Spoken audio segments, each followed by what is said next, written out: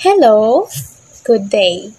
So, we are the group one and we are allocated with the topic um, ICT and the role of ICT in teaching and learning. So, before we proceed to our discussion with the topic, uh, let me introduce myself. I'm Gutierrez Mary Ann and I'm working with my energetic classmates um, Fatima Etic, Kristen de la Peña, and Coline Seguisabal.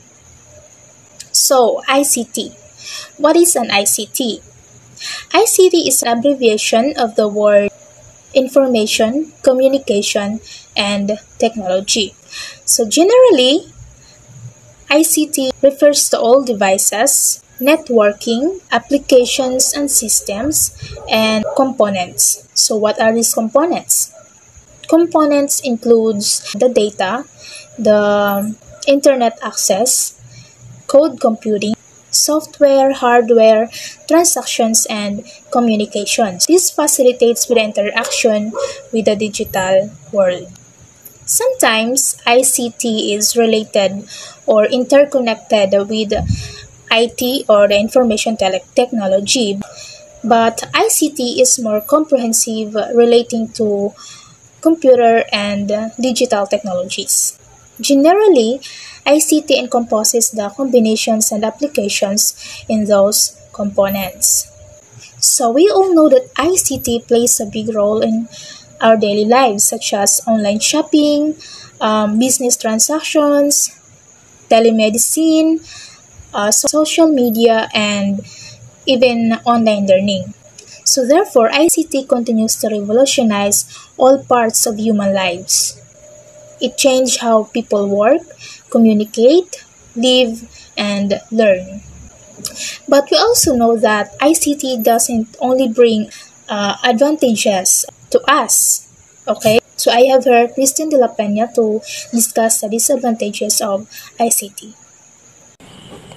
Good day, I am Cristine Dela Peña and I'll discuss the disadvantages of education. Just like any other technology, ICT too comes with certain limitations. While most of the educational specialists empathize on putting aside the few disadvantages, few still argue otherwise and say the drawbacks of using the technology in education. So um, speaking of ICT, if there are advantages that it can give, then of course there are disadvantages then that it can give.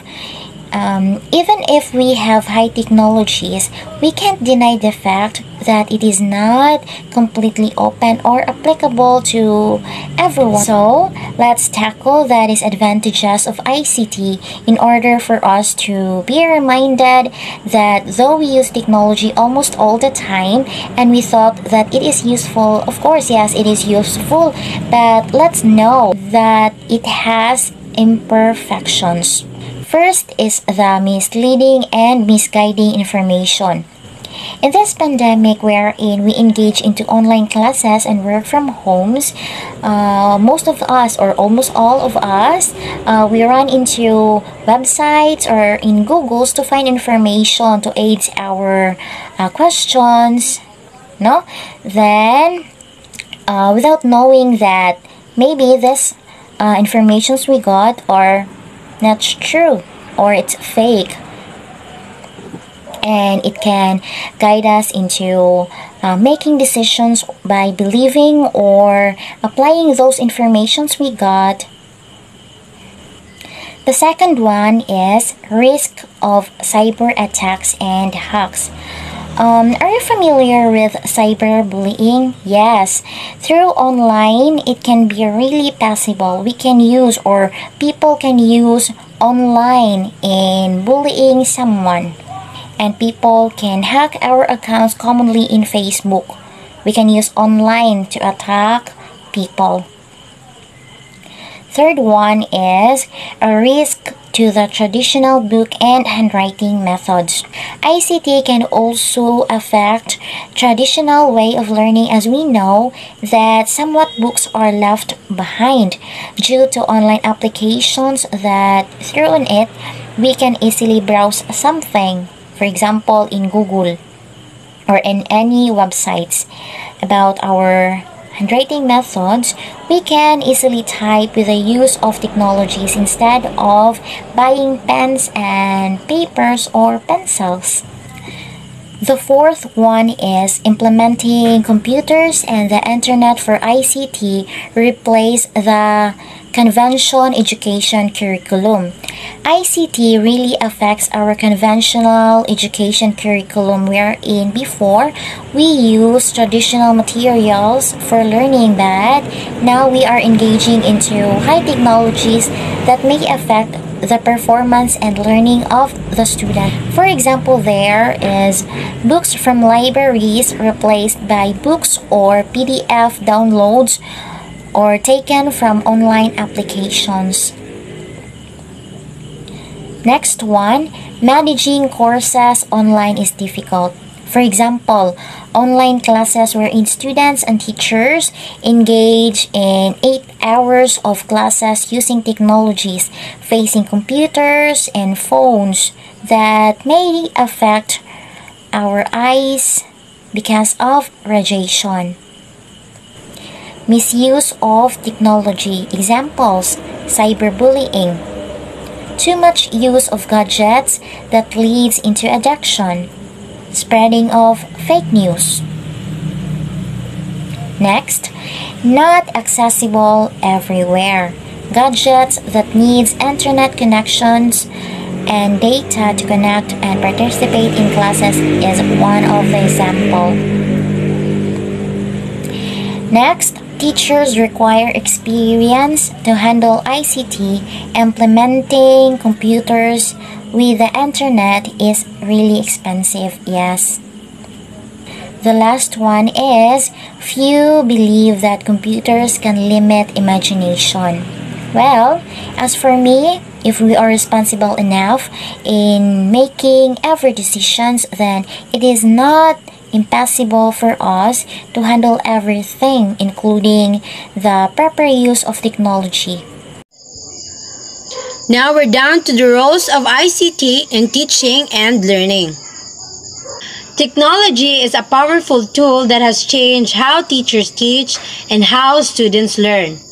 It has provided people with access to education and access to different ways of communicating and working together. First, we have here its roles in teaching. So how do technology helps teachers do their work? Here are some benefits of technology to the teachers.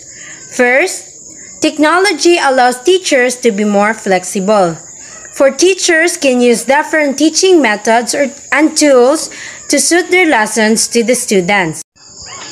Second, it assists teachers in teaching difficult concepts. Third, it helps teachers to connect with their students. Because of technology, teachers are able to better communicate with their students and support them in their learning, especially in this time of pandemic where online classes is the only way for students to learn and gain knowledge. Fourth, it helps improve teaching skills and helps in innovative teaching. Innovative teaching focuses on creating a conducive environment within which good learning can occur and where good teachers are inventive and creative. And lastly, it allows access to more resources. Because of technology, teachers are able to find additional and updated learning resources that can help them with their work. Now, for the roles of ICT in learning, here's Fatima Etic for the discussion. So, as of today, whether you are a student or you are a teacher, you should know and learn about ICT because now teachers use ICT to share, to share information to the students and monitor the student progress. And to do this effectively, each teacher needs to be able to use these tools effectively in order to share with the students. And today, in an online world where technology is having a significant impact in learning ICT skills. So that is why learning ICT is very critical because as of today, people use technology in their everyday life, especially to the students. Technology is what we use now to be able to communicate, to learn, and to teach. Why is ICT important in both teaching and learning? The importance of ICT benefits both fields for it enhances teaching and learning process, it helps effectiveness in classroom, it helps to achieve the objectives of the lessons effectively, it helps improving professional development and educational management as well as active learning of teacher trainees, and lastly, it helps in calculating 21st century skills. In short, Technology is an effective tool that can make education meaningful and engaging for teachers and students alike.